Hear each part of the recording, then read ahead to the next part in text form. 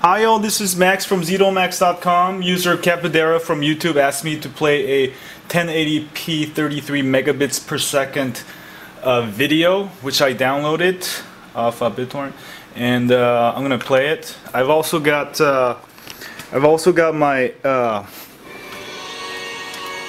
my uh, LCD hooked up via HDMI cable there and as you can see it plays it flawlessly with the NVIDIA graphics card. So that plays good there.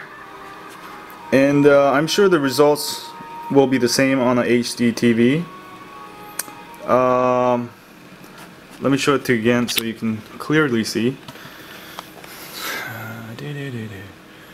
Play again. So focus here it's pretty good. Pretty darn good.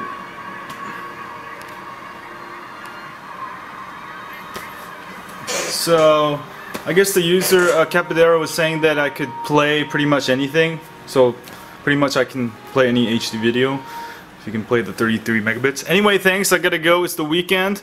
Uh, make sure to subscribe to my blog. It's uh, uh it's a foggy afternoon here in San Francisco see the ocean there kind of. Anyway, I gotta move. This place is way too small.